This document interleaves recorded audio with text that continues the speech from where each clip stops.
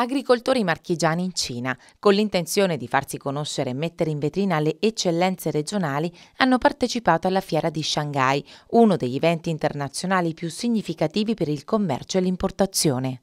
Per noi è stata una grande opportunità eh, perché riuscire ad aprire canali, dei canali verso la Cina per noi potrebbe essere eh, veramente importante soprattutto per le nostre aziende su cui Coldiretti appunto crede molto per quanto riguarda la vendita diretta e l'export di sani prodotti agroalimentari.